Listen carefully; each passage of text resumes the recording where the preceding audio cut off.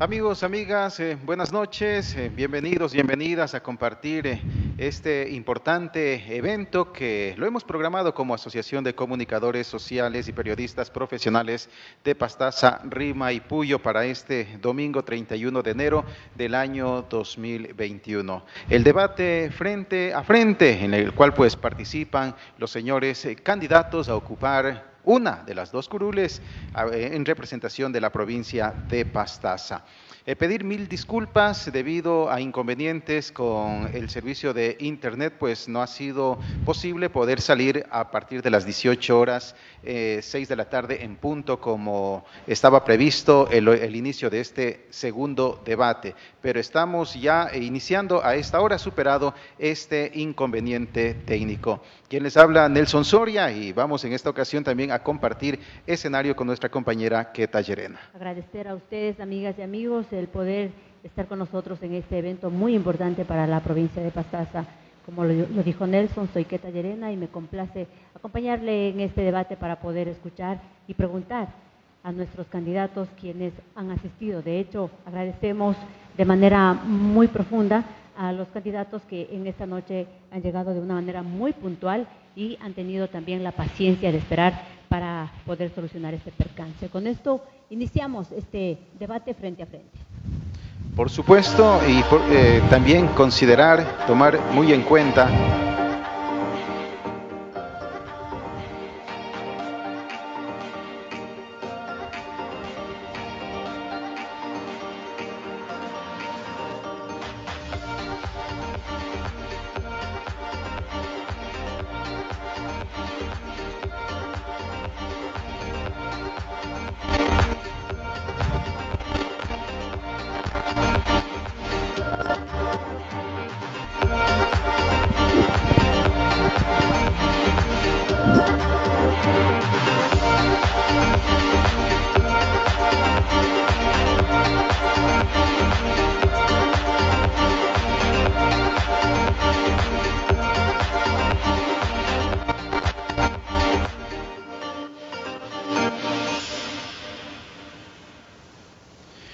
Bien, eh, queremos también eh, expresar que este evento, el debate frente a frente, está organizado por la Asociación de Comunicadores Sociales y Periodistas Profesionales de Pastaza en convenio con eh, Premiere Televisión eh, por cable aquí en la ciudad de Puyo. También queremos agradecer a quienes forman parte del Teatro de la Casa de la Cultura, Núcleo de Pastaza, quien nos facilita el escenario para poder conversar con los candidatos. Gracias también a Talía, la licenciada Talía López, quien en este momento ella está dando a conocer a la ciudadanía de Pastaza a través de su lenguaje en señas para que todos y todas puedan eh, entender, escuchar y saber la propuesta que tiene cada uno de los candidatos que hoy están presentes en este debate. Bien, vamos rápidamente a expresar sobre cómo está eh, previsto el reglamento que vamos a, a establecer en este segundo día de debates sobre la participación de los candidatos. La participación de los candidatos al debate frente a frente se lo realizará en dos grupos. El día de ayer es sábado 30 de enero y hoy con el segundo grupo, domingo 31 de enero. Las invitaciones han sido enviadas con 18 días de anticipación. La participación por grupo se ha designado por el número de lista de cada partido o coalición a la cual representan, quedando de la siguiente manera. En este segundo grupo tenemos para hoy, domingo 31 de enero, la participación de... El candidato Henry González. Asimismo, el candidato André Granda de la lista 20. También estaba invitada la candidata Tatiana Mena, lista 21. La candidata Jessie Engelman de la lista 23. Candidata Carolina Valdivieso, Alianza 2535. Y el candidato Elías Hachero de la Alianza 616.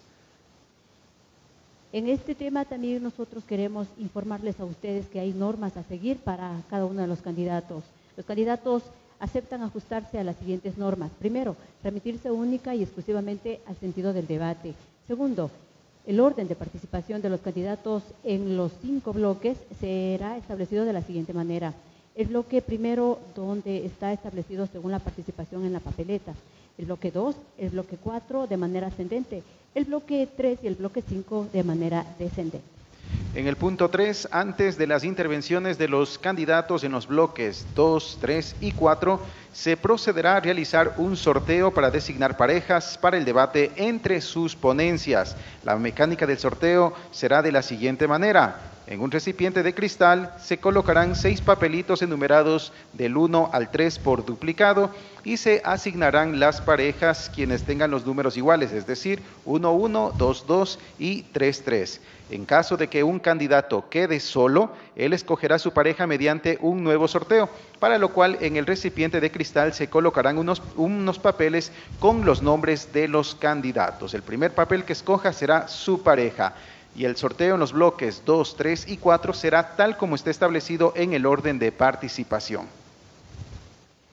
También una vez en el punto 4, una vez cumplido el sorteo de las parejas, los moderadores formularán la pregunta correspondiente a cada bloque y el candidato tendrá dos minutos para su intervención.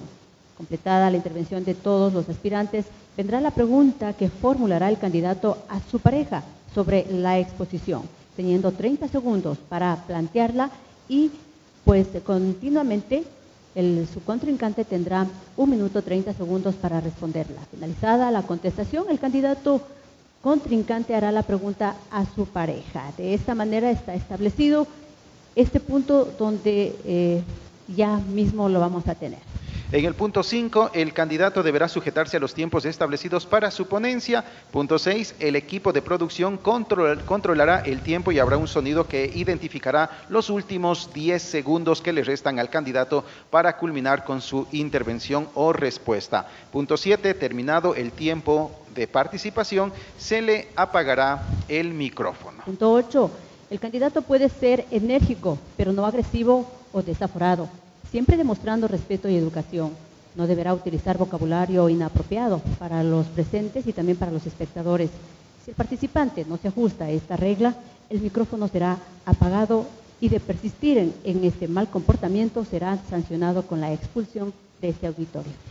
Eh, sobre el tema de las preguntas, tanto el reglamento como el esquema del debate eh, se han emitido de manera digital en archivo PDF a los candidatos 72 horas previas a su desarrollo utilizando las plataformas digitales. Asimismo, se realizarán preguntas sobre temas inherentes a las competencias de los asambleístas. Las preguntas se realizarán en cinco bloques. Del primer al cuarto bloque serán las mismas preguntas para los candidatos con la respectiva ronda para las observaciones o preguntas entre ellos. En el quinto bloque, la pregunta será de conocimiento político y relacionado a su competencia, la misma que estará dentro de un sobre y el candidato escogerá uno de ellos y responderá de manera inmediata.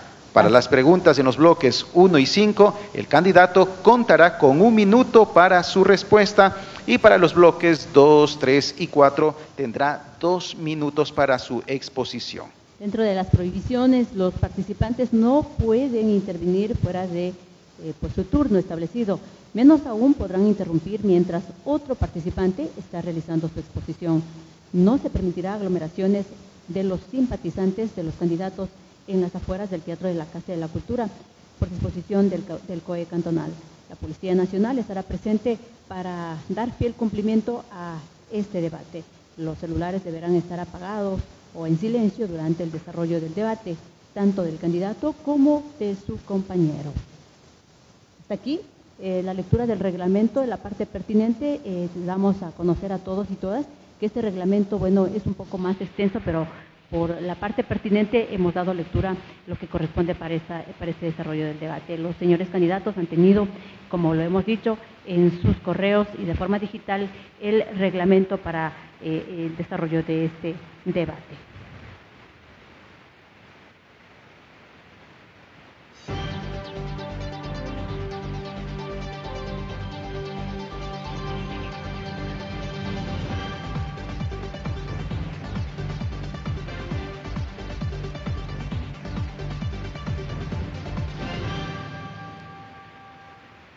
El debate frente a frente eh, con los candidatos asambleístas por la provincia de Pastaza, organizado por la Asociación de Comunicadores Sociales y Periodistas Profesionales de Pastaza, Rima y Puyo, en convenio con Premier eh, Televisión de nuestra ciudad de Puyo. Y antes de iniciar con esta primera parte, queremos agradecer la presencia de los candidatos que han asistido a esta invitación formulada por eh, Rima y Puyo. Y queremos agradecer la presencia del candidato André Granda, que se encuentra aquí entre nosotros. Gracias también a la presencia de la candidata Jessie Engelman. Asimismo, al candidato Elías Hachero. Cabe indicar que eh, lastimosamente eh, se nos ha hecho llegar ya la, documentación respectiva por parte de aquellos candidatos que no han podido participar o asistir el día de hoy debido a temas de agenda previstas para esta tarde y noche. Entonces vamos a iniciar este debate con los tres candidatos que están aquí presentes entre nosotros. Antes de esto queremos agradecer a quienes están unidos a través de las redes sociales. Agradecemos a los nuestro TV. Agradecemos también a Amazonía Activa, agradecemos al semanario El Observador, la plataforma de Eco Amazónico y por supuesto también en el tema radial tenemos entendido que Radio Interoceánica está retransmitiendo este debate.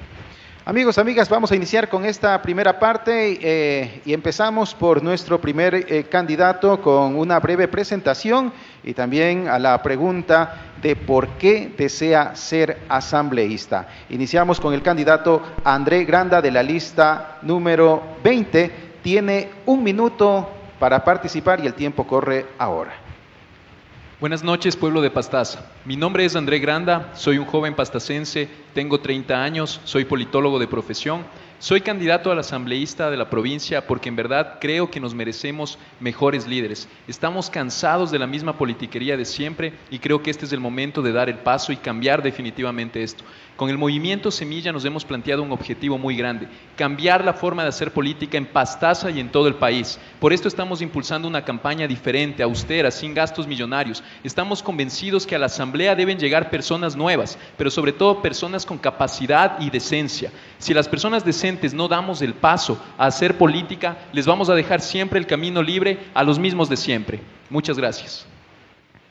Es el turno en esta oportunidad para la candidata Jessie Engelman, quien tiene que responder, bueno, su saludo y también contarnos el por qué desea ser asambleísta. Muy buenas noches con todos los presentes y quienes nos escuchan, ciudadanos de Pastaza. Soy Jessie Engelman, candidata a la Asamblea por el partido Suma 23. Quiero iniciar agradeciendo pues el cariño de todos los ciudadanos en nuestra campaña puerta a puerta. Esas manifestaciones de afecto, de aprecio que hemos recibido, sin duda, ese cariño de los ciudadanos de Pastaza será nuestra victoria. Y decirles que he tomado esta decisión en un difícil momento que vive nuestro país, porque considero que igual que hemos aportado desde otros escenarios, el día de hoy nos corresponde de una manera responsable aportar desde la Asamblea Nacional para cambiar el destino de nuestro país. Cambiemos progreso por retraso. No tenemos que seguir alimentando nuestro pueblo de más corrupción. En esta ocasión vamos a dar el paso a nuestro tercer eh, candidato presente en este debate frente a frente. Él es Elías Cachero de la Alianza 61-6. Eh, tiene un minuto para presentarse y también responder por qué desea ser asambleísta. Muy buenas noches, pueblo de Pastaza. Qué alegría poder dirigirme hacia ustedes nuevamente. Gracias por recibirnos en el día a día. Gracias por ser parte de este proceso de cambio y transformación sin duda, para tomar esta decisión tuve que consultarla con mi familia, con mi esposa, con mis hijas y obviamente la aceptación de la gente, del ciudadano común. Gracias a Dios hemos podido caminar toda nuestra provincia, las 17 parroquias, las 303 comunidades, no en su totalidad, las siete nacionalidades, el vivir esa realidad, las injusticias, las desmejoras en salud, en educación, en productividad, la desigualdad, la falta de empleo las oportunidades difíciles que hoy atraviesa nuestra provincia y nuestro país. Eso ha permitido que tomemos la decisión por Pastaza. Su hijo, Pastaza, no les va a defraudar. Hoy es el momento de unidad, de progreso y desarrollo. Muchas gracias. Gracias a los candidatos que han dado su respuesta al inicio de este debate frente a frente.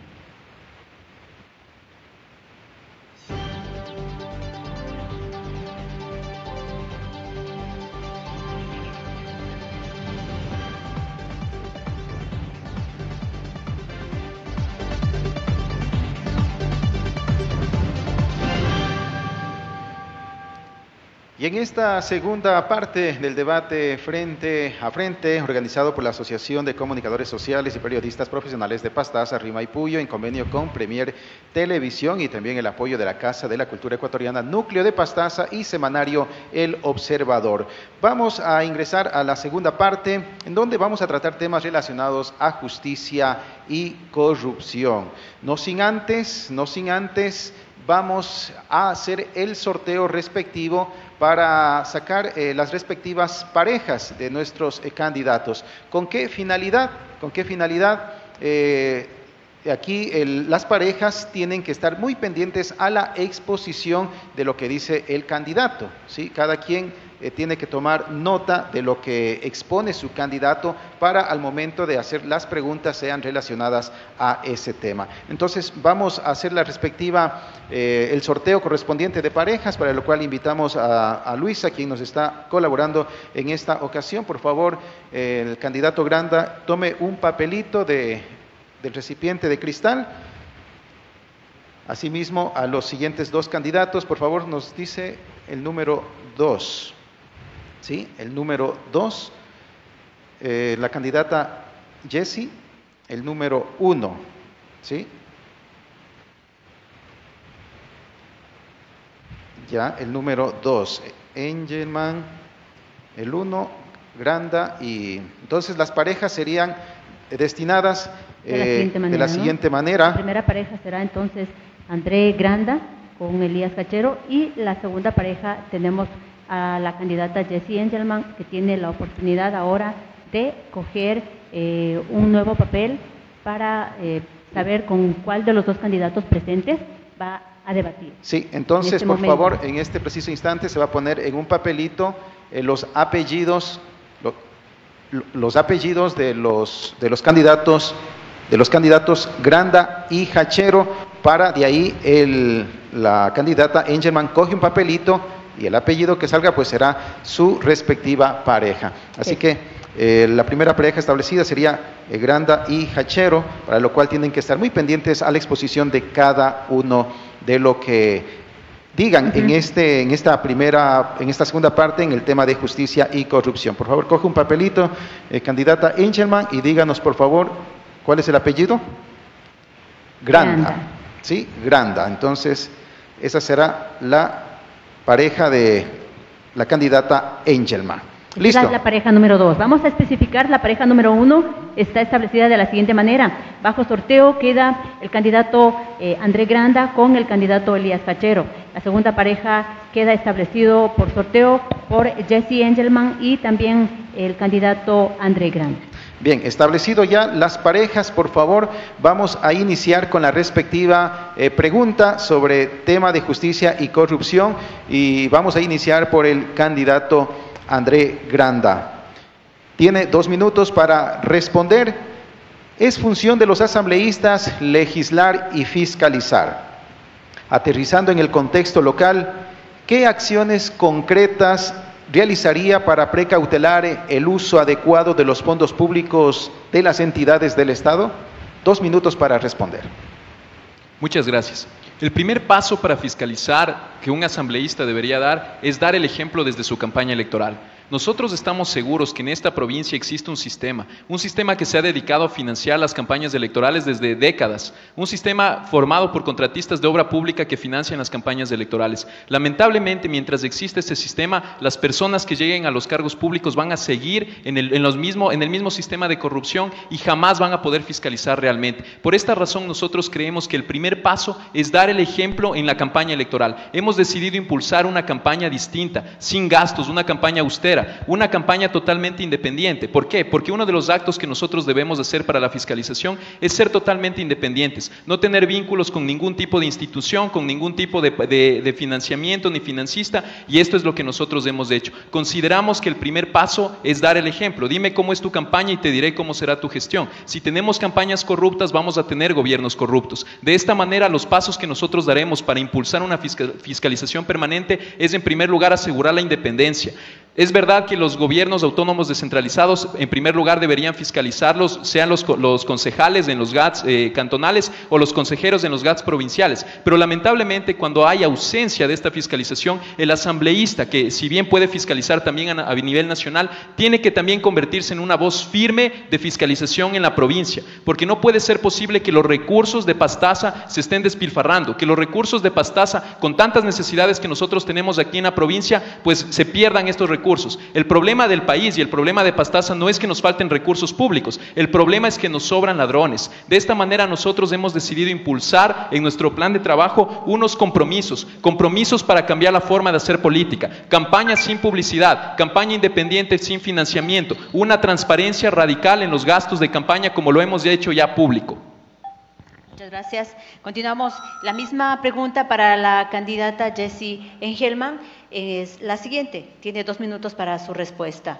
En función de los asambleístas, es la función de los asambleístas legislar y fiscalizar. Aterrizando en el contexto local, ¿qué acciones concretas usted realizaría para precautelar el uso adecuado de los fondos públicos de todas las instituciones del Estado? Dos minutos.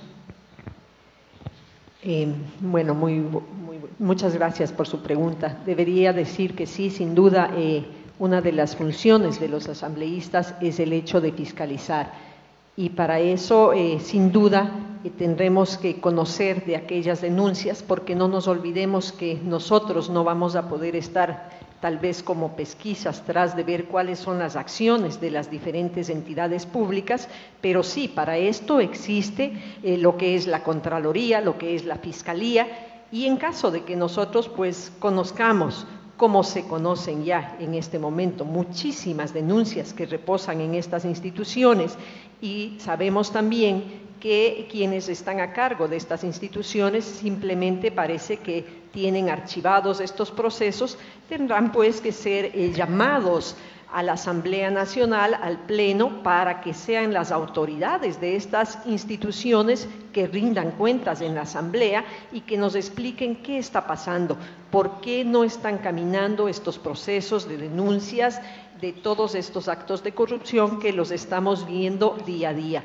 Eh, creo que como asambleístas eso es lo que nos corresponde hacer, estar vigilantes de que cada una de estas instituciones cumplan su trabajo y si no lo están haciendo, pues tendrán que ser llamados, reitero, al Pleno para que sean estos funcionarios que rindan cuentas a la ciudadanía. Muchas gracias por su respuesta. Vamos con el candidato Elías Hachero de la Alianza 61-6. En función de los asambleístas, eh, es función de los asambleístas legislar y fiscalizar, aterrizando en el contexto local. ¿Qué acciones concretas realizaría para precautelar el uso de los fondos públicos de las entidades del Estado? Tiene dos minutos para su respuesta.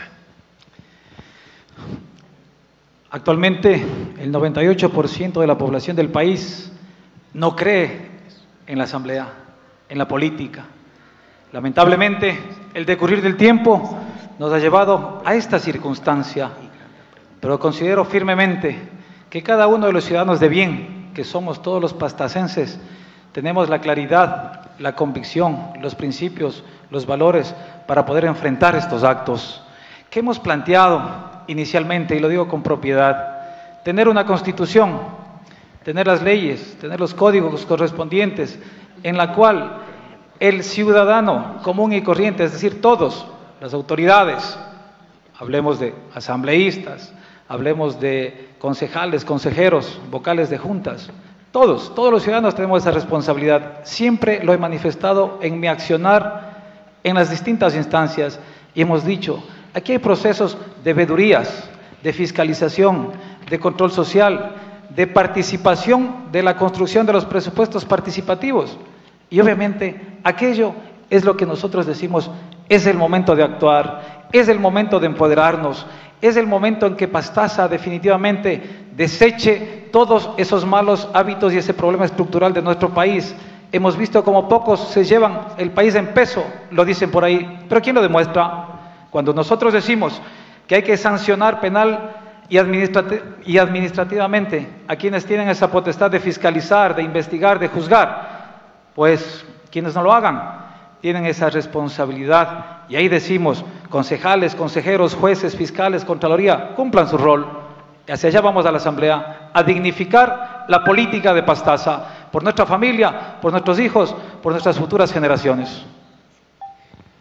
Muchas gracias a cada uno de los candidatos por su exposición en esta segunda parte en donde hemos hablado sobre justicia y corrupción. Y bueno, se viene ya en esta parte del tiempo de preguntas entre, los, eh, entre las respectivas parejas. Cabe indicar que son 30 segundos, tiene 30 segundos el candidato para preguntar y la candidata tiene o candidato tiene que responder en un minuto 30 segundos. Vamos a empezar con la primera pareja, que Claro, por supuesto. La primera pareja le corresponde a la candidata Jessie Engelman, que formula la pregunta en 30 segundos a el candidato André Granda.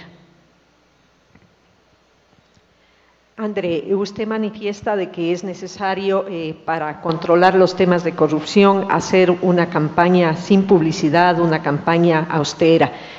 Sin duda creo que muchos candidatos en esta lid electoral hemos optado por hacer una campaña austera, pero considero que eso tal vez no será suficiente para frenar la corrupción. ¿Qué considera usted? Candidato Granda tiene un minuto treinta segundos para responder. Muchísimas gracias, estimada Jessie, por la pregunta. Yo creo que la política debe cambiar definitivamente. Nosotros hemos estado acostumbrados históricamente a campañas millonarias, despilfarro. Hoy en tiempos de pandemia, cuando hay tantas necesidades, a mí me parece un insulto al pueblo y a, todo el país que los políticos gasten dinero en campañas electorales. Nosotros hemos decidido impulsar una campaña austera porque estamos convencidos que si queremos cambiar las cosas, el primer paso es cambiar la forma de hacer política. Y aunque quizás usted tenga sus dudas sobre esta forma de hacer política, nosotros estamos convencidos y estamos convencidos que vamos a hacer historia en la política en la provincia de Pastaza. Hasta la fecha, con fecha 23 de enero, nosotros hemos gastado en nuestra campaña electoral 2.200 dólares. Con el, al día de hoy, de acuerdo a la actualización, me han informado que tenemos actualizado el gasto de 2.800 dólares. Cuando muchas fuerzas políticas, y aquí ha sido pues común escuchar que para uno ser asambleísta, para que los candidatos lleguen a la asamblea tienen que gastar de 50 mil dólares en adelante, a mí me parece algo absurdo. Me parece algo absurdo que existan tantos gastos con, cuando existen tantas necesidades aquí en la provincia y en todo el país. Nosotros estamos convencidos que se debe impulsar este tipo de campaña. Hemos hecho una campaña sin nada de gigantografías en las calles. Eh, todo lo que, lo mínimo, digamos, que se ha gastado, nosotros lo hemos transparentado. Y yo estoy convencido que esta es la manera, porque en realidad, el, como dicen, el que paga para llegar, llega para robar. Muchas gracias. Bien, eh, candidato Granda, a continuación usted tiene 30 segundos para para preguntar a la candidata Engelman sobre su exposición. Tenga la bondad su pregunta. Muchas gracias. Eh, ¿Sigo hasta el tiempo? Ya. ¿Seguimos? Sí. bueno, es que no veo el tiempo. No, pero estimada, estimada Jessie, eh, en nuestro plan de trabajo nosotros tenemos una declaración de intereses pública y transparencia de las campañas que queremos impulsar como una reforma en la Asamblea Nacional. Yo quisiera consultarle a usted, en caso de que usted llegue a la Asamblea conjuntamente conmigo, ¿estaría dispuesta a apoyarme a impulsar este proyecto de ley que incluye que todos los legisladores, antes de posesionarse en su cargo, tengan que transparentar una declaración de intereses pública que incluya a qué se dedican sus familiares, quiénes fueron sus financistas, esto con el fin de saber que un legislador cuando llega a la Asamblea no va a tener que, en este caso, tener conflictos de intereses. Candidata Engelman tiene un minuto 30 segundos para responder. Bueno, creo que en buena parte eso ya existe, André. Eh, tenemos pues todos los candidatos que reportar ese gasto electoral y ahora creo que mucho mejor que antes, eh, de a poco se lo va mejorando. Tenemos que hacer un informe cada 15 días, ya no es al final de la campaña y sin duda pues en ese informe están constando ahí quiénes son los financistas de la campaña, cuánto se ha invertido, quiénes han aportado y sin duda todo lo que se pueda hacer para mejorar y transparentar esto va a ser bueno. Yo considero que es positivo. Muchas gracias a la respuesta. En este momento vamos a continuar con la siguiente pareja. Les recordamos, la pareja está integrada por el candidato Granda y también el candidato Hachero. Tienen 30 segundos, les pedimos que por favor sea su, su, pregunta concreta y también la respuesta de igual manera. Si bien es cierto, no están los 30 segundos en la pantalla, pero debemos respetar también el tiempo. Vamos a continuar entonces, desde el turno del candidato André Granda para que formule eh, la pregunta al candidato Elías Hachero.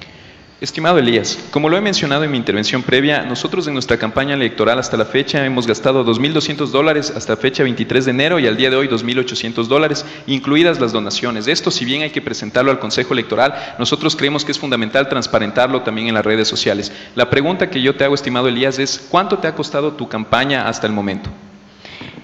Un minuto 30 segundos, candidato. Sí, mire, creo que es fundamental el tema de orientación, el tema de cumplimiento de ley Siempre decimos, no hay jóvenes malos, sino mal orientados. Decimos también, el cumplimiento de la ley es aquello que debemos hacerlo. Debo felicitar este proceso que hoy lo ha iniciado André, al ir transparentando paso a paso, pero yo sí creo firmemente en el Consejo Nacional Electoral que a través de su reglamento lo va evidenciando permanentemente. Y lo que nos corresponde hacer es justamente aquello, ¿Qué es lo que hemos dicho? Todos los ciudadanos de Pastaza, yo considero que todos los ciudadanos de Pastaza somos hombres de bien y estamos ajustados a la legalidad principalmente, basado en principios, en valores, en principios cristianos, quienes lo somos. Pero yo sí debo manifestar, confiamos plenamente en quienes tienen la obligación, la obligación de cumplir su rol. Si hablamos de instituciones públicas, desde luego, el manejo de la cosa pública tiene que ser como lo es y si acá se habla de transparencia, mi querido André, te lo digo con claridad. Yo debo felicitar a cada una de las personas que han ido abonando, aportando y también cumpliendo con lo que establece el Código de la Democracia y su reglamento. Pero vean, nosotros sabemos claramente hasta dónde tenemos que hacer los 38 mil y pico de dólares que nos corresponde hacerlo. Se lo, se lo, será, se lo será evidenciado en el momento oportuno y de hecho estos días estamos publicándolo ya. Muchas gracias. Es el tiempo de usted, candidato Elías Hachero, que formula su pregunta en 30 segundos para el candidato André Granda. Tiene un minuto, André, para responderlo. Sí, eh, claramente se ha escuchado las exposiciones de André.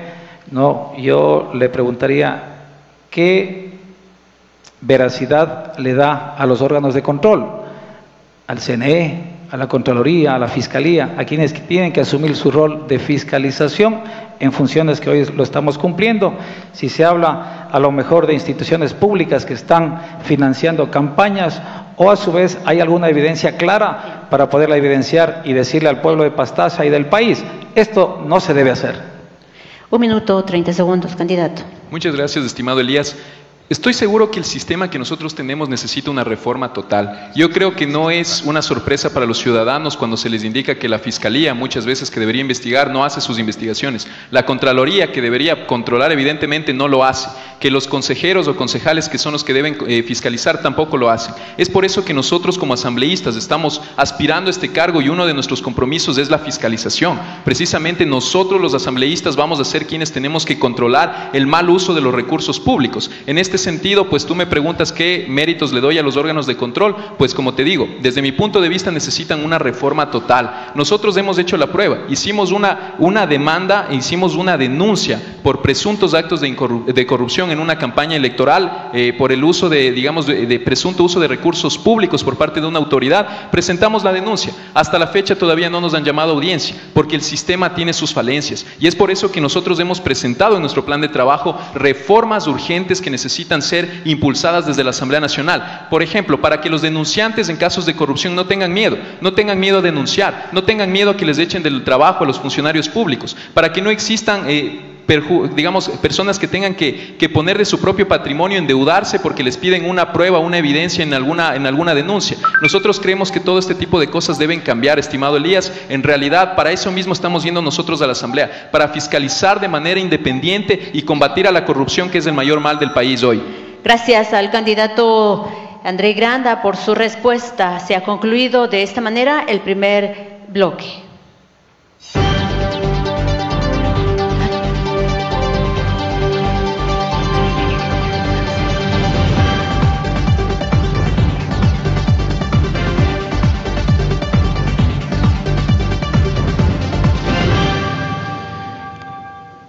El debate frente a frente organizado por la Asociación de Comunicadores eh, Rima y Puyo en convenio con Premier Televisión y también con el apoyo de la Casa de la Cultura Ecuatoriana Núcleo de Pastaza y Semanario El Observador.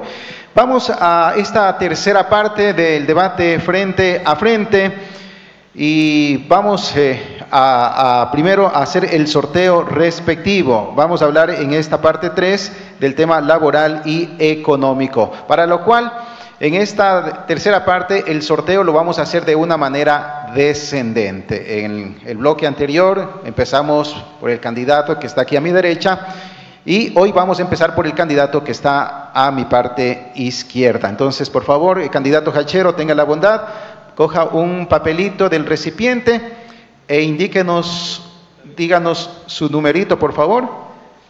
El número uno, perfecto. Vamos a establecer las parejas. Eh, candidata Angelman. El número dos. Perfecto. Vamos con candidato Granda, el número uno. ¿Sí? El número uno. Entonces queda establecido la primera pareja, eh, candidato Hachero con Granda. ¿sí? Eh, vamos ahora a, a, buscarle la pareja eh, a la candidata, a la candidata Angelman entre Hachero y Granda. Por favor. Vamos entonces a ubicar los eh, respectivos eh, papelitos. Mientras tanto, agradecemos a quienes nos siguen a través de las redes sociales.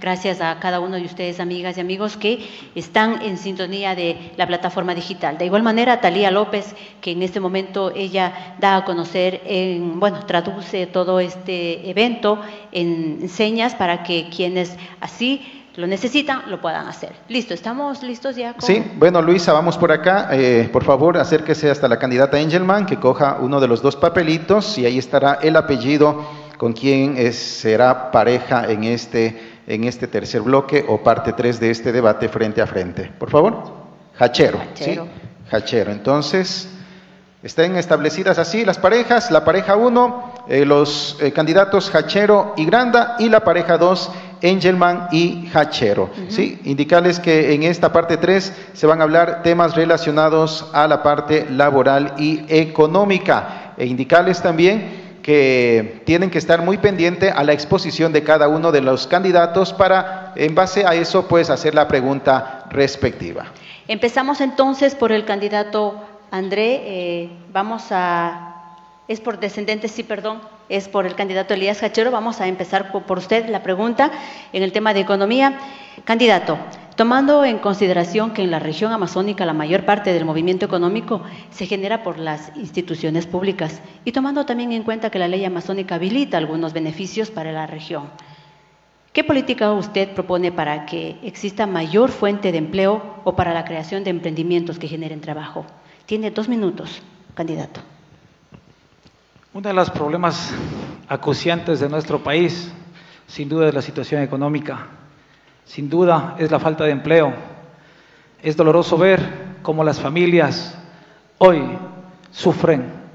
Hoy no tienen siquiera, al menos, que llevar a su mesa.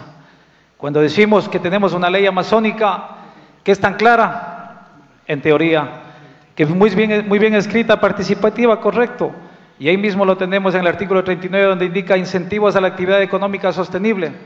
Pero ¿qué se ha hecho? Los recursos no han aterrizado. Tenemos el artículo 41, el derecho al empleo preferente, donde al menos el 70% de la mano de obra, obra calificada debe ser partícipe. El artículo 43, los créditos preferentes a bajo interés y plazos preferenciales. Y no se ha cumplido. Por ello, debemos exigir al gobierno, al Ejecutivo, la aprobación del reglamento a la ley amazónica, porque no podemos esperar más. Sin duda, Ecuador es uno de los países mejor emprendedores de la zona, pero el que menos facilidades lo tiene. El emprendimiento se da por falta de empleo o de un trabajo fijo, y en esa realidad estamos viviendo. Cuando tenemos una Amazonía rica en cada uno de sus elementos en las personas, en los agricultores, en los productores. Tenemos esa posibilidad de producir, pero no hay la posibilidad, al menos, de que se conduela, aún teniendo los recursos. En ello el planteamiento obviamente está en potenciar el emprendimiento, generar fuentes de empleo, pero necesitamos esos recursos de la ley amazónica que se aterrice a través de la aprobación del reglamento que exigiremos desde la Asamblea Nacional al presidente de la República. Bien, vamos con eh, la segunda participante para la candidata Jessie Engelman.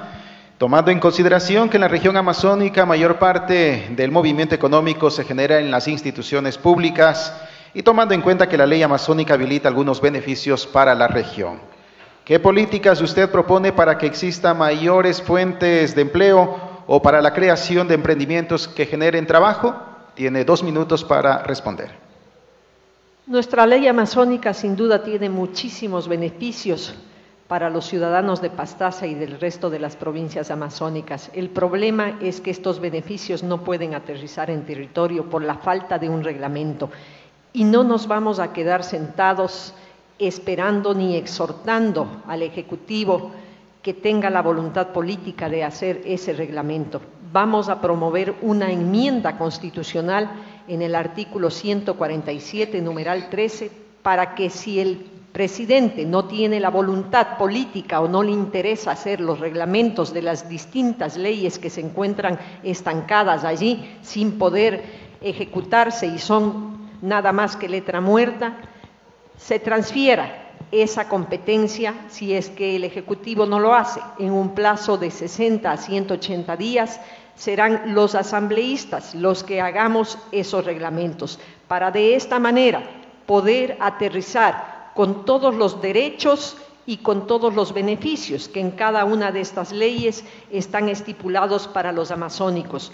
No hablamos solo de la ley amazónica, hablamos también de una ley de desarrollo fronterizo, hablamos de una ley reformatoria a la energía eléctrica y más de 100 leyes que actualmente están sin un reglamento y que sin duda tienen muchos beneficios para nuestros ciudadanos, pero a la falta de estos reglamentos jamás esos beneficios y esos derechos van a poder aterrizar en territorio. Y es por eso que vamos a trabajar, vamos a proponer esta enmienda hasta lograr conseguir que los asambleístas seamos quienes hagamos los reglamentos si el Ejecutivo no tiene la voluntad política, porque no nos podemos sentar a hacer simplemente exhortos. Es el tiempo ahora del candidato André Granda. La misma pregunta, el mismo tiempo, el mismo proceso.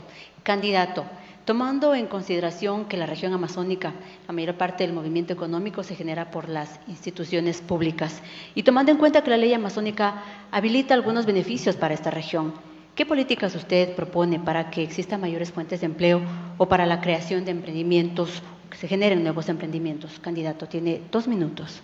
Muchas gracias. En primer lugar, yo voy a irme un poco en contra de la pregunta porque no estoy de acuerdo con lo que se plantea de que la mayor parte de la actividad económica aquí en la provincia o en la Amazonía se genera en las instituciones públicas. Si bien es verdad que una gran parte del empleo está concentrado en instituciones públicas aquí en la provincia, en realidad el movimiento económico, de acuerdo a las estadísticas del INEC, plantea que los que mueven la economía en la provincia son los comerciantes, son los emprendedores, son los pequeños artesanos, los pequeños comerciantes, microempresarios que en realidad son quienes mueven las tienditas de barrio, los locales comerciales de aquí en la ciudad de Puyo, en los cuatro cantones, ellos son quienes mueven en realidad la economía. Entonces nuestra propuesta está orientada precisamente a ellos, precisamente a defender a los microempresarios, a los pequeños comerciantes de la provincia de Pastaza. Nosotros estamos en contra de un nuevo impuesto que se, se creó en este régimen bajo la denominada ley de simplicidad tributaria, en la que se crea un impuesto del 2% a los microempresarios, en la que nos dice dicen que no es un nuevo impuesto, que es una tarifa al impuesto a la renta, cuando todos conocemos que el impuesto a la renta se lo aplica a la renta real, a las utilidades que, digamos que alguien, alguien gana. En este caso se aplica un impuesto del 2% a los ingresos brutos. Nosotros con fecha 31 de diciembre hemos presentado ya una acción de inconstitucionalidad en contra de este impuesto. Nos vamos pronunciando alrededor de dos meses en contra de esto. Afortunadamente ahora, ahora que ya se está sintiendo el golpe económico, hay otros candidatos a la Asamblea en todo el país que se están pronunciando. Hay candidatos a la presidencia de la República que también se están pronunciando. Nosotros dijimos esto desde hace antes y hicimos la invitación incluso a la Cámara de Comercio de Pastaza. Planteamos la acción de inconstitucionalidad. Estamos a la espera de la notificación si se acepta o no la medida cautelar para evitar el cobro de este impuesto, porque con la pandemia nosotros no podemos entender cómo un gobierno, incluido el voto de dos asambleístas de la provincia de Pastaza, pues aprobaron este impuesto que es brutal en contra de la economía de, Pastaza y se, se aplica en contra de los más pequeños, en contra de los más vulnerables, vulnerando principio de la progresividad tributaria que está, está establecido en la Constitución. Muchas gracias. Bien, de esta manera hemos finalizado la exposición de cada uno de los eh, candidatos presentes en este debate frente a frente. Ahora se viene el tema de las eh, preguntas entre parejas y vamos con la pareja número uno, que son los candidatos Hachero y Granda. Por favor, candidato Hachero tiene 30 segundos para formular una pregunta al candidato Granda según su exposición. Tenga la bondad. Eh, si bien es cierto, la Ley Orgánica de Simplificación y Progresividad Tributaria, a la que hace mención André, para todos ha sido como una puñalada, para nuestros emprendedores, para aquellos que día a día luchan para llevar el sustento a su casa, pero más allá de lo que se ha desarrollado de manera personal, ¿cuál es el planteamiento a una reforma a esta ley, André? Bien, el candidato Granda tiene un minuto 30 segundos para responder. Estimado Elías, la ley de simplicidad tributaria tiene dentro de, digamos, de su, de su, cuerpo normativo un nuevo régimen para los microempresarios. Nuestra propuesta, como fue planteada ya en la acción de inconstitucionalidad que nosotros impulsamos, es derogar completamente el régimen de microempresarios, porque es un impuesto totalmente regresivo. No se puede entender cómo pueden aplicar un impuesto del 2% a las ventas totales, a los ingresos, a la facturación. Y no se puede decir, ah, si es que no facturan no les va a afectar. No se puede decir eso, es algo absurdo. Entonces nuestra propuesta es totalmente que se derogue el nuevo régimen de microempresas o en su caso se plantee como algo voluntario. La Cámara de Comercio de Guayaquil ya se ha pronunciado, ha acogido la propuesta que nosotros llevamos repitiendo desde hace dos meses, que se haga un régimen voluntario, como es el RICE. El RICE actualmente es voluntario, uno puede escoger acogerse a esto. Por el contrario, este régimen de microempresas es un régimen obligatorio, que el gobierno actual lo estableció porque, por supuesto, no tienen dinero, pero quieren, digamos, recuperar el dinero a costa de los más pequeños. Quieren aplicarle a los más pequeños. En lugar de cobrar impuestos a los más grandes le están aplicando a los más pequeños. El 80%, la gran mayoría de la economía de la provincia de Pastaza está conformada por pequeños empresarios. Hay 6.700 personas incluidas en el catastro aquí en la provincia de Pastaza que hoy están sorprendidas porque les toca pagar una cantidad de dinero increíble que hasta hace un año no tenían que pagar. Los asambleístas que tenían que socializar nunca lo hicieron. Jamás avisaron nada, nunca dijeron nada y hoy las personas están pues un poco eh, no solo asustadas, sino con una desesperanza total porque no saben cómo pagar este impuesto, Elías. Bien, gracias por la respuesta. Ahora el candidato eh, André Granda tiene 30 segundos para preguntar al candidato Elías Cachero sobre su exposición. Estimado Elías, tú has dicho en tu, en tu pregunta que estás en contra también de este impuesto del 2%. Yo te pregunto, ¿qué opinas tú de que el asambleísta de Pastaza, Raúl Tello, de tu partido político 61 dio su voto para aprobar este proyecto de ley que hoy está hundiendo la economía de la provincia de Pastaza y que jamás dijo nada ni socializó nada pues de esta ley con toda la provincia. Candidato Elías Cachero tiene un minuto 30 segundos para responder. Sin duda, eh, cada quien es dueño de sus actos. Yo no podría responder ni siquiera por mi hermano, peor por un amigo o por alguien que hace malas cosas. Si bien es cierto, ahí debo manifestar algo. Cuando se desarrolló esta actividad en las artes y mañas que aún se utilizan en la Asamblea Nacional, el Código Orgánico de la Función Legislativa actualmente ya está en primer debate y modificando aquello que se dio en esta, eh, para la aprobación de esta ley. Y cuando conversaba no solamente con, con los candidatos de Pastaza, con los, perdón, con los asambleístas de Pastaza, sino de otras provincias, ellos decían, mira, lo que sucede es que nos impusieron por debajo de la mesa esta ley, la aprobación de esta ley, porque ni siquiera nos dieron la posibilidad de revisar lo que estaba planteado. Entonces digo, qué indignante poder escuchar de actores que tienen esa responsabilidad de velar por los intereses, sobre todo de quienes quieren producir, de quienes quieren sobresalir. Y es por ello de que no podemos, no podemos permitir que nada ni nadie, al margen de la ley, pueda ir en contra de los intereses, sobre todo de nuestros emprendedores, de nuestros productores, de nuestros pequeños eh, ciudadanos que están ahí luchando en el día a día. Por ello es que yo lo dije inicialmente, es una puñalada que nos dieron a todos, a todos los ecuatorianos que quieren emprender básicamente en este tema que hoy lo estamos tratando. Gracias. Ahora es el tiempo de la segunda pareja, que está conformada por la candidata Jessie Engelman con el candidato Elías Hachero. Tiene 30 segundos, candidata eh, Jessie, para que usted pueda formular la pregunta a Elías Hachero. Elías, hemos coincidido en que es necesario el reglamento de la ley amazónica para reactivar la economía en nuestras provincias amazónicas pero usted habla simplemente de exigir al presidente la elaboración de este reglamento. ¿Qué poder coercitivo tiene el asambleísta para que esta exigencia, que me imagino que será un exhorto, se convierta en una realidad? Y si es así tan fácil, ¿por qué no ha planteado esta exigencia el candidato Raúl, perdón, el asambleísta Raúl Tello, que es parte de su partido político. Es el tiempo del candidato para la respuesta, un minuto con 30 segundos. Sin duda, eh, esas realidades las vivimos, las vivimos en nuestra Amazonía, en nuestra provincia, en el país. Cuando hay que tomar decisiones de manera personal y con responsabilidad, obviamente quedará en la conciencia de cada quien. Repito, no podemos responsabilizarnos de los actos y acciones absolutamente de nadie, de nadie. Y es por ello que hemos manifestado con claridad, cuando construimos esa ley, yo parte de la Universidad Estatal Amazónica, ahí luchando, tarde, noche, madrugada, viajando, viniendo, yendo, pero decir que en su momento, en su momento, a quién le corresponde hacer. Y ojo, que esta, este reglamento ya está en el escritorio del presidente de la República. Hemos llegado hasta allá y se ha exigido.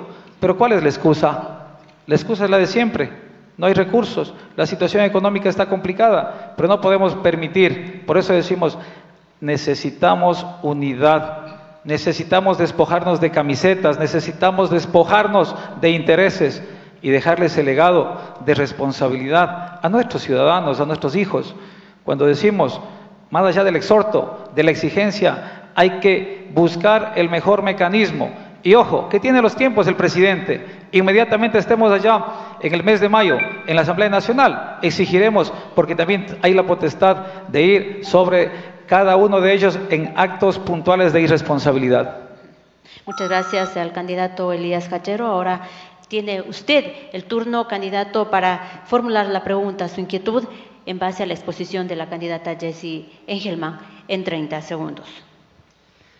Si bien es cierto, ya se ha dicho que irá a la enmienda de la Constitución que plantea en el artículo 147, numeral 13, de las atribuciones del presidente. Las atribuciones dice expedir los reglamentos necesarios para la aplicación de las leyes sin contravenirlas ni alterarlas. Pero es urgente. Yo no sé en qué tiempo o bajo qué circunstancias será el planteamiento de esta enmienda a la Constitución que plantea Jesse. Tiene un minuto treinta segundos, estimada candidata. Bueno, esto toma un proceso de más o menos un año y medio y en el que conseguiremos esta enmienda y definitivamente esto permitirá que los asambleístas realicemos los reglamentos no solo de la ley amazónica, sino de las más de 100 leyes que se encuentran en este momento como letra muerta porque no tienen un reglamento y no pueden ser aplicadas. Eh, pero sin duda, sin duda este año y medio va a ser muchísimo más rápido en el tiempo que pasarnos cuatro años exigiéndole al presidente que haga un reglamento, porque a través de esa exigencia no existe ningún poder coercitivo que tengamos los asambleístas dentro de la Asamblea Nacional para obligarle al Ejecutivo a realizar este reglamento. Y simplemente pues Tendremos que esperar a la voluntad de Él el tiempo que sea. Tal vez terminaremos nuestro periodo después de cuatro años, saldremos y con las exigencias que hagamos, las podemos hacer todos los días, no veremos ese reglamento ni los de las demás leyes. Y es por eso que nosotros vamos a trabajar en esta enmienda porque consideramos de que es inminentemente necesaria y urgente para la ley amazónica y su reglamento y para las demás leyes. Muchas gracias a los candidatos que en esta oportunidad han dado su pregunta, pero también han dado su respuesta a aquellas inquietudes entre eh, los candidatos presentes en este debate frente a, frente. Agradecemos a quienes están con nosotros a través de nuestras redes sociales. Gracias también una vez más a la intérprete, la licenciada Talía López, que en este momento ella también con el lenguaje en señas, da a conocer también la participación de los candidatos a la ciudadanía de la provincia de Pastaza. Así finalizamos esta parte del debate para iniciar con la cuarta parte del debate.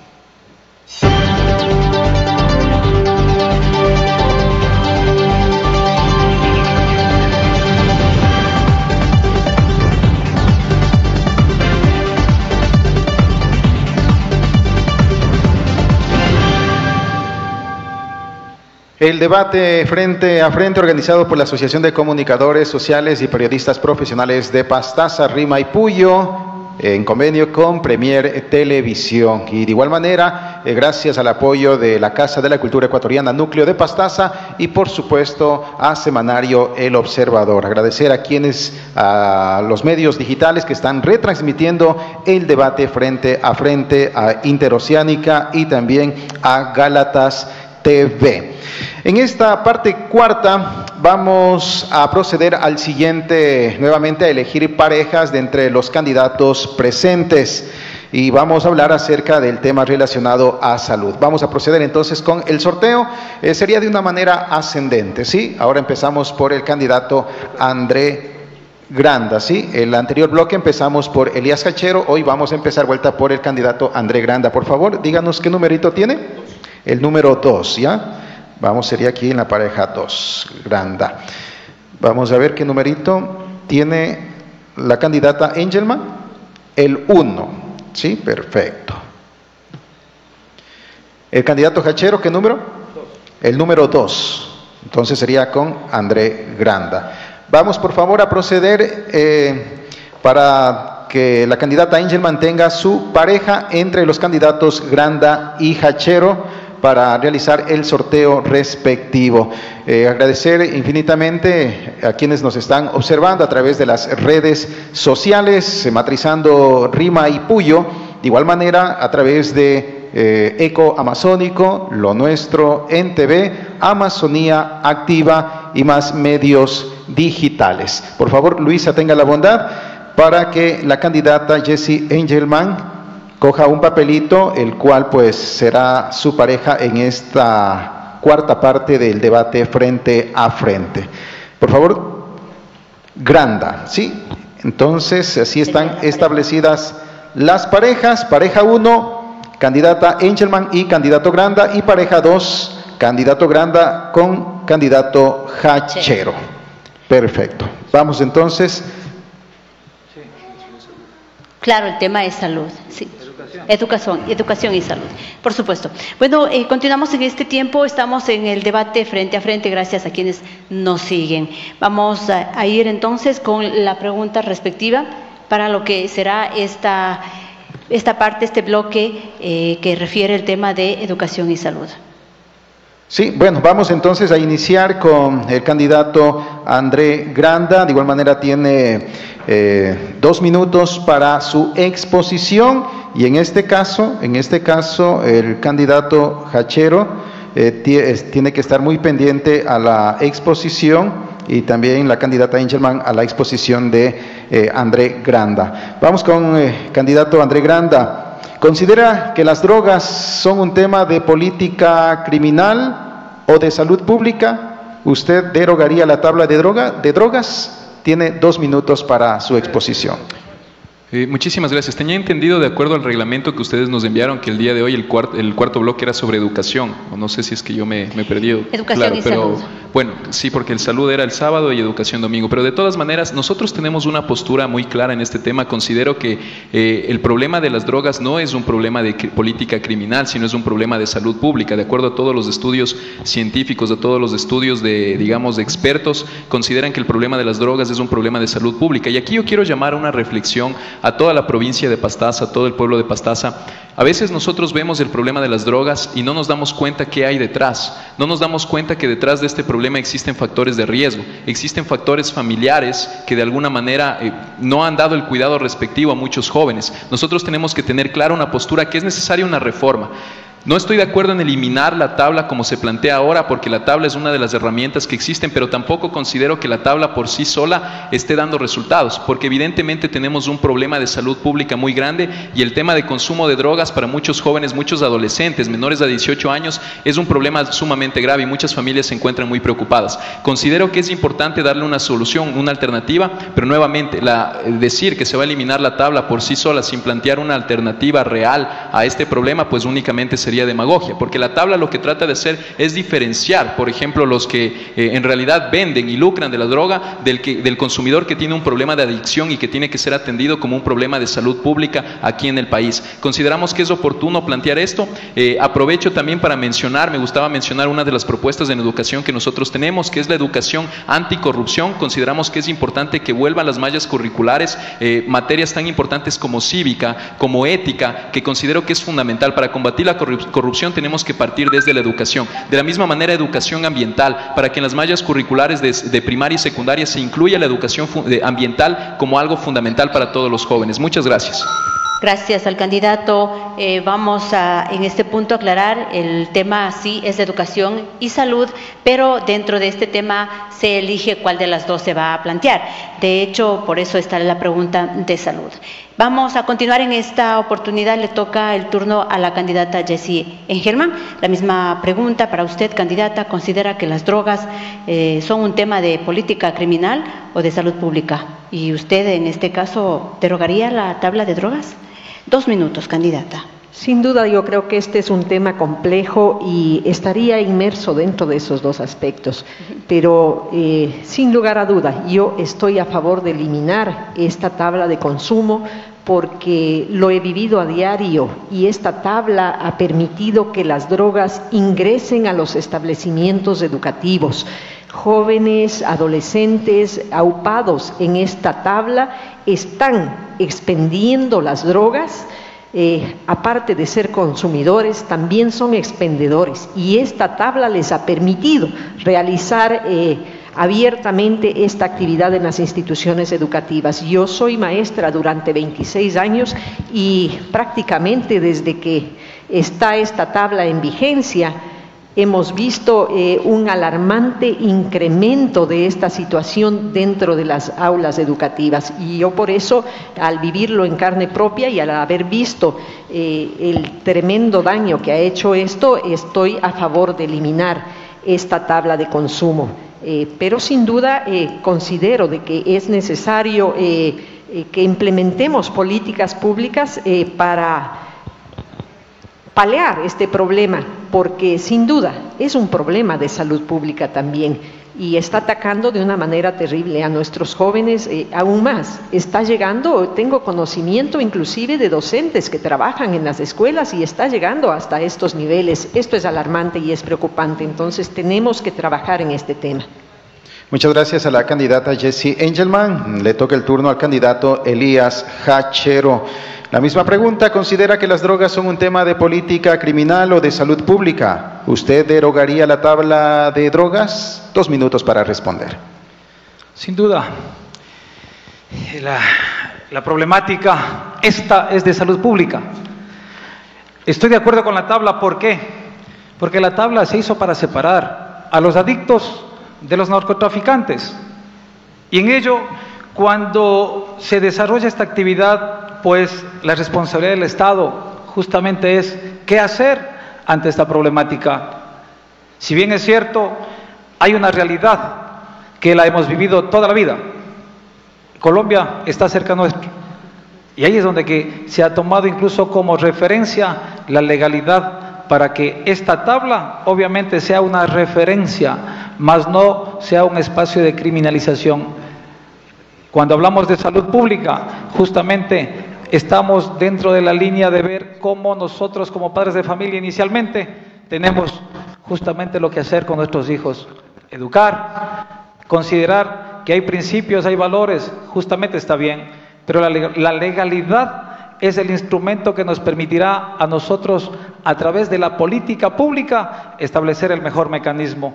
No podemos llenar los centros de rehabilitación o las cárceles. ¿Por qué? Si no se tiene un proceso adecuado para que esta situación se la pueda superar. En el hecho actual, incluso de la pandemia, han sucedido situaciones tan complejas sobre las cuales hay que fiscalizar el tema de las mismas de, de, las vacunas. ¿Qué es lo que ha sucedido?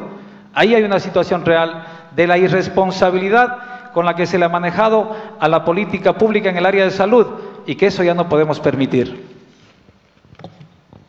Muchas gracias al candidato. Continuamos en, esta, en este debate frente a frente. Ahora es eh, el tiempo de la formulación de las preguntas conforme a las parejas que están establecidas, Nelson. Perfecto. Vamos con la primera eh, pareja integrada por eh, la candidata Angelman y el candidato Granda. Tenga la bondad, la candidata Jessie Angelman tiene 30 segundos para preguntar al candidato Granda sobre su exposición en este tema. André, yo quisiera conocer su criterio cómo combatir ese microtráfico dentro de las aulas escolares, dentro de las aulas colegiales, si no logramos eh, eliminar esta tabla, porque es un problema grave realmente. Bien, eh, candidato Granda tiene un minuto, 30 segundos para responder. Muchas gracias, estimada Jessie, por la pregunta. En primer lugar, yo debo hacer una aclaración. Es importante que se revise bien la ley, como está planteada la tabla de, de, consumo, estimada Jessie, porque esta tabla no es para los jóvenes, no es para los adolescentes. La tabla es únicamente para los adultos, para personas mayores de edad, porque ningún menor de 18 años puede consumir. Si alguien está consumiendo que es menor de 18 años, ya ese es un problema de salud pública muy grave, pero no es que la tabla permite esto. Eso es totalmente ilegal. La tabla únicamente está destinada al adulto y en verdad es una herramienta para separar al narcotraficante del adicto, del que tiene un problema en realidad de salud pública. ¿Cómo podemos solucionar esto? Por supuesto que podemos impulsar leyes, pero no nos vayamos tan lejos. Vamos primero a la base de la sociedad. ¿Cuál es la base de la sociedad? La familia. ¿Dónde están los problemas de los jóvenes que entran en el problema de drogas? Tienen problemas familiares, alcoholismo, pobreza, maltrato, abuso, están abandonados, existen factores de riesgo muy graves. No podemos nosotros abordar esto y decir únicamente vamos a eliminar la tabla y se solucionaron los problemas de los jóvenes de Pastaza, que están, que en verdad es un problema. Ningún menor de 18 años podría consumir drogas, porque eso es totalmente ilegal y es perjudicial para el desarrollo de ellos. Pero hablemos claro, el problema comienza en la familia, comienza en la falta de valores, comienza en la pobreza, comienza en la ausencia de cuidado y cariño para los niños, para los jóvenes. Entonces yo creo que desde ahí parte la solución desde nuestro punto de vista, estimada Jessie. Gracias. Eh, la respuesta al candidato Granda. Por favor, ahora le toca el turno. Tiene 30 segundos para preguntar sobre el tema expuesto por la candidata Jessie Engelman. Tenga la bondad. Estimada Jessie, quisiera preguntarle un poco en su propuesta de salud. Eh, nosotros estamos impulsando una, una ley para impulsar un paquete de reformas en lo que tiene que ver con la salud mental, que se ha convertido durante la pandemia en una de las mayores crisis. Salud mental, problemas de salud mental, viven hoy muchas personas, jóvenes, adultos, una situación de depresión y no existen verdaderas garantías para todas estas personas. Quisiera preguntarle qué opina de esta propuesta, si usted tiene alguna propuesta quizás en este tema de salud o quisiera complementar también su, propuesta de salud. Candidata Jessie Engelman, un minuto treinta segundos para responder. Eh, bueno, antes de responder la pregunta de André, decirle que no siempre todos los jóvenes que caen en el problema de las drogas vienen de hogares disfuncionales, con problemas en sus hogares o otro tipo de situaciones. Hay muchas ocasiones que jóvenes, adolescentes de hogares muy bien llevados, muy bien formados, eh, terminan cayendo en estos problemas. Lo hemos visto, lo hemos vivido. Tengo 26 años dentro del ámbito de la educación y es realmente triste ver el tema del, del microtráfico, cómo se mueve en las aulas, en las aulas de los colegios. En realidad nos preocupa. Decirle en referencia a su pregunta que sin duda, necesitamos velar eh, por la salud no solo física, sino mental también de las personas y es por eso que eh, tenemos que hacer las reformas necesarias dentro del COS que nos tocará tratar este próximo año. Pues el presidente lo vetó y allí tendrán que analizarse todas estas reformas necesarias para garantizar la salud integral con acceso gratuito universal para todos los ecuatorianos. Y sin duda, hablar de una salud universal integral tiene que tratarse también no solo los aspectos físicos, sino los aspectos psicológicos, mentales. Gracias a la candidata. Continuamos en este debate frente a frente para quienes están con nosotros. Estamos ahora en la pregunta y respuesta de los candidatos que eh, se formulan y se responden al mismo tiempo. Es tiempo ahora entonces de la segunda pareja conformada por la candidata eh, Jessie Engelman y también el candidato Elías Hachero. De tal manera que perdón, Granda y Hachero, de tal manera que es el tiempo para eh, pedirle al candidato Granda que por favor formule su pregunta en 30 segundos al candidato Hachero. Estimado Elías, creo que hemos coincidido en lo que respecta a la tabla de consumo. Te preguntaría eh, qué otras medidas tú impulsarías precisamente para evitar el consumo en los adolescentes, tomando en cuenta que en verdad eh, me, ratifico, yo creo que el problema comienza en la familia, quizás aparentemente haya familias que no estén en una situación pues tan disfuncional como, como indicó estimada Jessie, pero yo creo que siempre hay un factor, este es un problema multifactorial, entonces también te consulto, estimado Elías, qué otras medidas se implementarían para evitar el consumo en los adolescentes. Sí, eh, quiero aclarar inicialmente que no es tabla de consumo, el nombre es tabla deporte, pero importante los comentarios que se van desarrollando en esta gran problemática que tiene que ver con la salud pública. Si bien es cierto, al ser también un educador, ya de alrededor de 25 años, muy joven inicié en el tema educativo, es lamentable ver la situación real, cómo lo indicaba inicialmente en la intervención anterior, los principios y valores, la familia, y coincidimos plenamente en aquello. Hay que recuperar aquellos momentos cuando decían nuestros abuelitos, vean, los valores, los principios son fundamentales, pero hoy ver una sociedad muy compleja, ver unas leyes muy permisivas, el establecer el mecanismo desde la educación, desde los primeros años, es fundamental más allá de, en este caso, sancionar o llenar las cárceles o llenar los centros de rehabilitación, creemos firmemente que la educación es fundamental.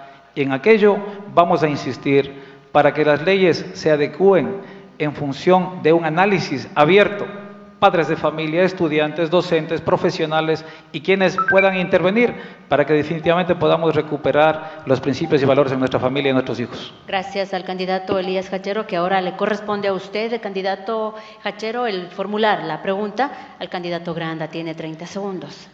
Sí, Andrés, eh, justamente lo que manifestábamos de la tabla de deporte es una realidad y no se la puede, eh, desde mi punto de vista, eliminar porque se generaría un problema o un caos adicional.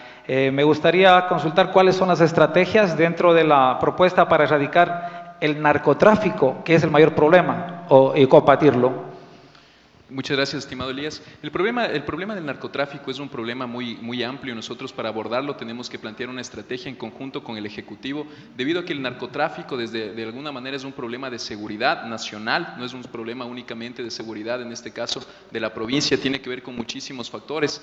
Eh, se ha mencionado, por ejemplo, el tema de Colombia, el tema de la, de la frontera. Entonces, en este caso, nosotros lo primero que plantearíamos es una estrategia en conjunto con el, con el Ejecutivo, porque no puede ser posible que nuevamente nuevamente se penalice o un, digamos, un consumidor que tiene un problema de adicción, que es un problema real de salud pública, es un problema que, que en realidad no depende ya de él, sino que es una enfermedad y él tiene que de alguna manera atenderse en un centro de salud pública y se lo penaliza a él mientras los grandes narcotraficantes siguen libres, los grandes narcotraficantes tienen vínculos con la política, existe parapolítica aquí, existen mafias que se han apoderado, entonces por supuesto que tenemos que abordar una estrategia integral en conjunto con seguridad, en conjunto con el Ministerio de Gobierno en este caso como está ahora, dentro de lo que nosotros pues planteamos desde la Asamblea Nacional, podemos impulsar diversas reformas, pero yo considero que muchas muchas leyes ya existen que no se están aplicando, muchas herramientas, existe una falencia ahora, como hemos planteado en la, en la tabla, pero por sí sola no se puede eliminar. Esto es lo que yo plantearía, primero, abordar una estrategia en conjunto con el Ejecutivo, entender el problema de seguridad mayor, un diálogo permanente con la policía, un diálogo permanente con todo el Ministerio encargado de Gobierno y de Seguridad.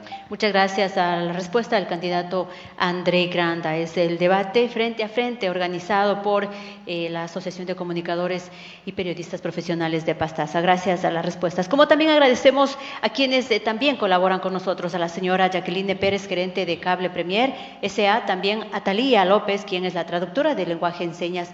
Igualmente el saludo y el agradecimiento a Luis Jaramillo, gerente de Agua Bambú, a Luisa Rivadeneira en el protocolo, también a Jack Eventos, arreglo escénico y por supuesto en el arreglo floral a Book, arreglo interesante que nos ha dado. De igual manera el saludo muy especial y el agradecimiento a Jega Sonido. El agradecimiento también es para la Casa de la Cultura Núcleo de Pastaza y por supuesto el semanario El Observador.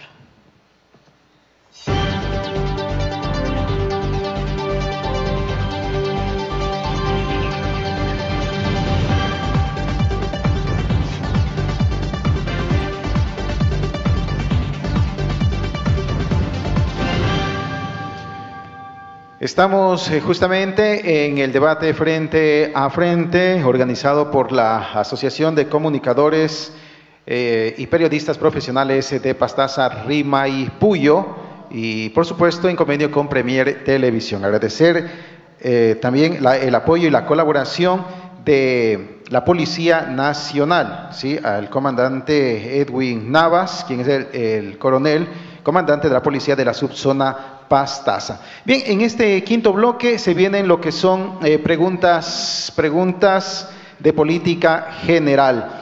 Eh, vamos, eh, tenemos en una bandejita unas, unos seis sobres con las respectivas preguntas.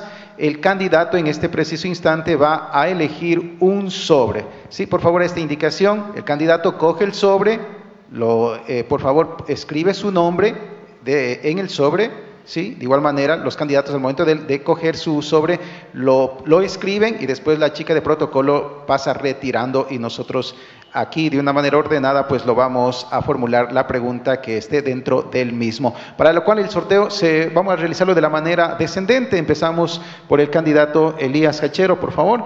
Coja un sobrecito de los seis que están en la bandeja y escríbale nomás su nombre, por favor. Asimismo, eh, pedimos a la licenciada Engelman un sobrecito de cualquiera de los que están ahí y de igual manera el candidato Granda. Indicarles que según la pregunta tienen un minuto para responder cada candidato. Bueno, ahora sí, la chica de protocolo, por favor, eh, viene retirando los, los sobres y nos hace el favor de entregar para empezar eh, de, manera descendente, ¿sí? Eh, primero por el candidato eh, Hachero. Por favor, para que pase retirando los sobrecitos, tenga la bondad. Exacto. Y indicarles ¿no? a los amigos, amigas que nos están observando a través de redes sociales. Eh, bueno, queremos eh, indicar que para el día de hoy estaba previsto la participación eh, o la invitación para los seis candidatos en este segundo grupo. Y lógicamente, lógicamente, tres han asistido y, tres pues han, con los debidos documentos se han disculpado por su no asistencia. Por supuesto, es más, queremos también decirles a ustedes, recordarles a ustedes, amigas y amigos, que el próximo 7 de febrero tenemos la obligación de asistir y dar nuestro voto por el candidato o la candidata que ustedes han escuchado, han analizado y también, bueno, ahora con todo este tema de las redes sociales, de tener la información muy cerca de cada uno de las y los ciudadanos, pues ustedes tendrán la decisión en esta oportunidad. Se ha entregado ya los sobres, cada sobre tiene el nombre del candidato, Nelson va a dar lectura, entonces empezamos Nelson con el primer candidato, abrirá el sobre, esto reiteramos, eh, les indicamos que son sobres cerrados, las preguntas netamente las sabe el señor presentador, en este caso Nelson Soria, y el primer sobre es para Elías Cachero. Es la forma descendente y ahí está la pregunta que la va a formular. Bien, la pregunta para el candidato Elías Cachero eh, tiene un minuto para responder. La Asamblea Nacional ¿En qué casos podrá proceder al enjuiciamiento político de la presidenta o presidente o de la vicepresidenta o vicepresidente de la República? Un minuto para responder. Sí, el enjuiciamiento político creo que es dentro del artículo 78 de la Constitución, eh, la Asamblea, perdón, del Código Orgánico de la Función Legislativa. La Asamblea Nacional podrá proceder al enjuiciamiento político por el cumplimiento de las funciones, obviamente del presidente de la República, la misma que está especificada y tipificada las razones por las cuales aquel enjuiciamiento político o la solicitud de al menos una cuarta parte de sus miembros, pues le asignan la Constitución y la ley para poder cumplir con la misma. Muchas gracias al candidato Elías Hachero. Ahora en sobre que había puesto el nombre de la candidata Jessie Engelman, tiene la siguiente pregunta. Vamos con la pregunta para la candidata Jessie Engelman. ¿En qué ciudad se escribió la primera constitución del Ecuador y en qué año? Es el turno para la candidata Jessie Engelman. Un minuto. En la ciudad de Riobamba, me parece. No, no tengo claro el año. ¿Sí? Perfecto. Gracias por su respuesta. ¿Puede decirle el año, compañero? Tiene usted ahí la respuesta para que pueda podamos recordar todos, porque esto debemos de recordarlo y tenerlo claro cada uno de Sí, fue, bueno, la primera constituyente fue en la ciudad de Riobamba en el año 1830. De igual manera está el sobre en la que el candidato André Granda puso su nombre y esta es la siguiente pregunta. Vamos con la pregunta para el candidato André Granda. ¿A quiénes fiscalizan los asambleístas y cuáles son los mecanismos con los que cuentan?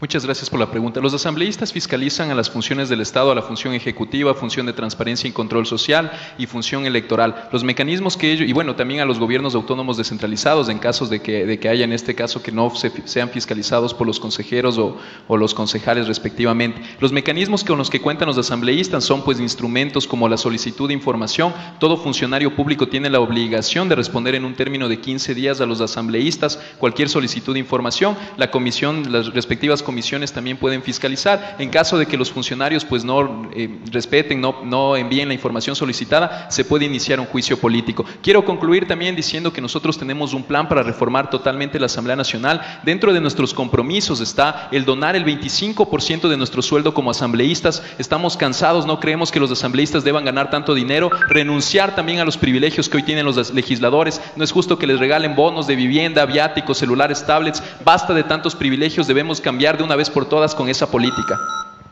Muchas gracias al candidato André Granda. Ha dado la respuesta a la pregunta formulado en el tema de política general. Nelson. Bien, eh, queremos agradecer lógicamente a la Asociación de Comunicadores eh, Sociales y Periodistas Profesionales de Pastaza, Rima y eh, Puyo eh, por eh, la organización junto a Premier eh, Televisión. Agradecer a quienes, a los compañeros socios que están tras de cámaras, como es el tema de producción, Jairo Agurto, Vinicio Rugel, Tito Pinta, Pablo Lascano, en lo que es la, el tema de logística, Gustavo Tustón, Gabriel Erazo, Gerardo Garófalo, Juan Jaramillo. En esta ocasión los moderadores, Keta Llerena y Nelson Soria. Además, también agradecemos, como habíamos mencionado, a la señora Jacqueline Pérez, gerente de Cable Premier, a Talía López, traductora de lenguaje de señas, Luis Jaramillo, gerente de Agua Bambú, a Luis Arbadeneira en protocolo, también a Jack Eventos, arreglo escénico y Bukit Floristería, también a Jega Sonido. Agradecemos también a la Policía Nacional, gracias por el aporte, el soporte y el apoyo que nos dan. El apoyo, asimismo, para la Casa de la Cultura Ecuatoriana Núcleo de Pastaza, el semanario El Observador. Y el agradecimiento a todos los compañeros, amigos y amigas que de una o de otra manera dieron su like, dieron, dejaron su comentario y por supuesto compartieron, gracias a la retransmisión por parte de Radio Interoceánica, por la Asociación de Comunicadores, su fanpage, se está dando efecto en este momento en vivo por Eco Amazónico, lo nuestro en TV, Amazonía Activa y... Así también por Gálatas eh, TV y más eh, redes eh, sociales y personas ¿no? que muy gentilmente han compartido este debate frente a frente con el segundo grupo. En esta ocasión, pues de los seis candidatos han asistido André Granda, Jesse Engelman y Elías Hachero. Queremos dejar en claro también a la audiencia que nos está mirando en este momento que la Asociación de Comunicadores Rima y Puyo ha realizado con más de 15 días de anticipación la invitación para eh, asistir a estos debates, los dos debates que inició el día de ayer y el día de hoy. Lamentablemente no todos han podido estar en los días señalados. Han dejado por unos por escrito, otros no, eh, la no asistencia, pero queremos felicitar y agradecer a quienes han asistido, gracias a los candidatos que el día de ayer asistieron y a los candidatos que el día de hoy asistieron. Creo que esa es la manera en la que se debe de actuar para que cada uno de los ciudadanos y de las ciudadanas podamos dar nuestro pronunciamiento al momento de dar nuestro voto. También les decimos, amigas y amigos, que eh, pues eh, la asociación estará eh, con más ideas, con más temas, con más debates como estos dentro de los diferentes temas, no solamente político. Así que es el inicio del trabajo, el esfuerzo que hace la Asociación de Comunicadores. Asimismo, destacar a la ciudadanía y lógicamente están aquí los candidatos presentes, que este ha sido un espacio completamente gratuito, ¿sí? Mm, de igual manera, la finalidad de estos debates han sido para poder socializar cada una de las propuestas de los señores eh, candidatos y lógicamente, ¿no? Las respectivas eh, réplicas, ¿no? Las preguntas que se han formulado cada uno de ellos. Ahora es el tiempo de la despedida, algo que a veces nos gusta y a veces no nos gusta. Candidatos, gracias por estar acá una vez más. Ahora es el tiempo para que usted se despida de quienes han estado acá presentes en el auditorio, pero también de quienes nos están siguiendo. Empezamos, Nelson. Así es, empezamos por el candidato André Granda de la lista 20. Por favor, 30 segundos tiene para su despedida. Amigos y familias de Pastaza, hemos demostrado una campaña decente, una campaña sencilla, sin grandes gastos, sin necesidad de las maquinarias políticas de siempre. Pero yo les quiero contar algo. Esta semana las grandes maquinarias políticas van a intentar hacer lo que hacen siempre, intentar comprar tu voto, intentar ponerle un precio a tu voto. Es por eso que te pido que me des una oportunidad para demostrar que se puede hacer política decente en la Asamblea. Vamos a darles una lección de decencia y ética a las maquinarias políticas de siempre. Te pido que me des esta oportunidad. Vamos a demostrar que los gigantes sí caen. Ánimo, que se viene el cambio. Muchas gracias. Ahora es el tiempo de la candidata Jessie Engelman. En 30 segundos su despedida.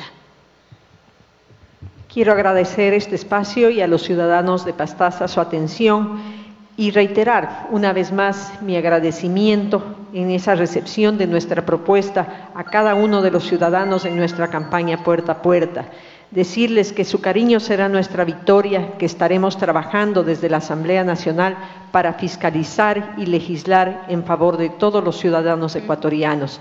Muchas gracias, pastacenses.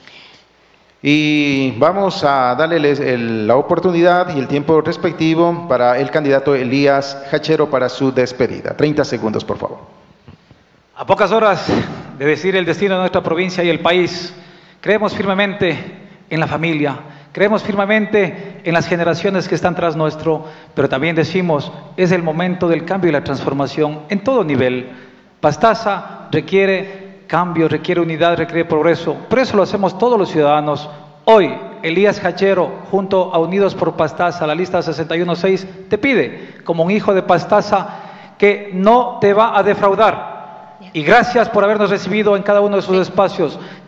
cuatro cantones, 17 parroquias, 303 comunidades, 7 nacionalidades, juventud, transporte, dama de casa, profesional, profesionista. A cada uno de ustedes mi agradecimiento imperecedero. Sabemos que con la bendición de Dios y su voto vamos a la Asamblea Nacional. Muchas gracias a los candidatos una vez más por haber dado el tiempo necesario para poder exponer, preguntarse entre ustedes mismos y debatir entre ustedes.